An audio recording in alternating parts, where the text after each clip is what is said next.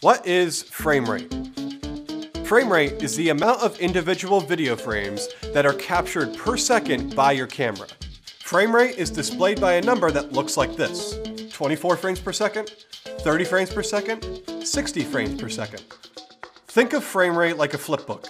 Each new drawing is a frame, and when you flip through, you see all of the frames together as one continuous moving image.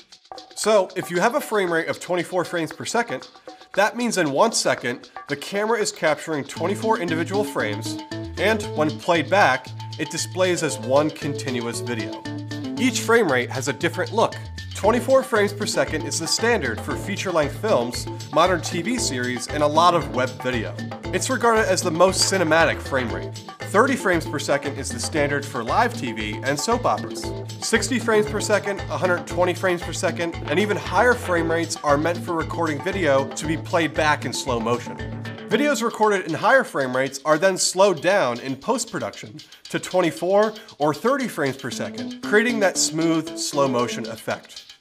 So, if you want to shoot something cinematic, use a frame rate of 24 frames per second. If you want to shoot something to look like a soap opera or a sporting event, use 30 frames per second. And if you want to shoot something in slow motion, use a frame rate of 60 frames per second or higher. And that is frame rate.